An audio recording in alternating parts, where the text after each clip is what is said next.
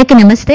Welcome back to rainbow home cooking ఈరోజు మీ అందరికీ చూపించిపోయే స్పెషల్ రెసిపీ కుక్కర్లో మటన్ కర్రీని చాలా సింపుల్గా ఎలా తయారు చేసుకోవాలో ఈరోజు మీకు ఈ వీడియోలో చేసి చూపించిపోతున్నాను మటన్ కర్రీ చాలా సింపుల్గా అయిపోతుందండి. ఇంకా టేస్ట్ కూడా చెప్పనవసరం లేదు. చాలా టేస్టీగా ఉంటుంది.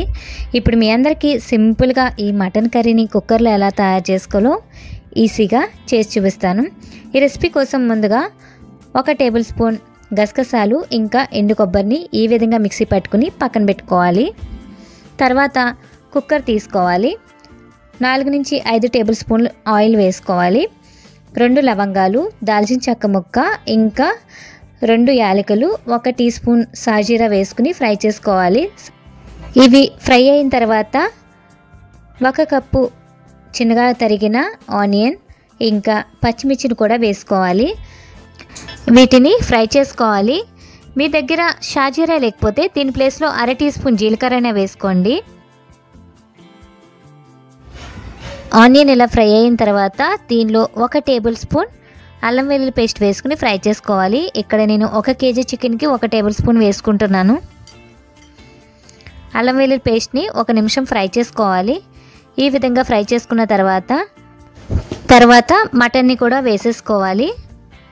మటన్ వేసుకున్న తర్వాత ఇలా కలుపుకుంటూ ఫ్రై చేసుకోవాలి.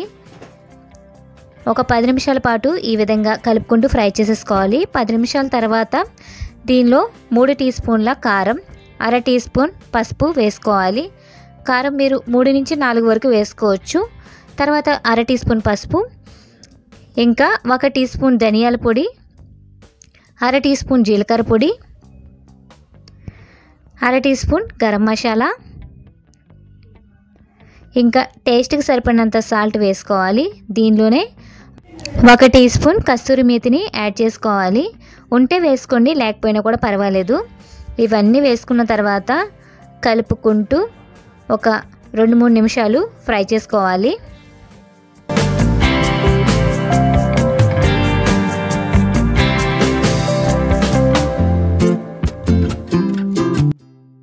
ఈ విధంగా ఫ్రై చేసుకున్న తర్వాత ముందుగా పేస్ట్ చేసి పెట్టుకున్న గసగసాలు ఇంకా ఎండు కొబ్బరిని వేసేసుకోవాలి. ఇవన్నీ వేసుకున్న తర్వాత దీనిలో చివరిగా ఒక కప్పు వాటర్ని కూడా యాడ్ చేసేసుకోవాలి. వాటర్ వేసుకున్న తర్వాత మూత పెట్టుకుని ఆరు నుండి ఎనిమిది విజిల్స్ వచ్చేంత వరకు ఉడికించుకోవాలి. మటన్ లేతగా ఉంటే ఆరు సరిపోతుందండి. లేదా ఒక ఎనిమిది వరకు వేయించుకోవాలి. ఇలా విజిల్స్ వేపించుకున్న తర్వాత చల్లారిన తర్వాత కుక్కర్ మూత తీసేసుకోవాలి. మీకు కర్రీ ఇంకా ఉడకలేదు అనిపిస్తే మళ్ళీ స్టవ్ పైన పెట్టుకుని ఉడికించుకోండి.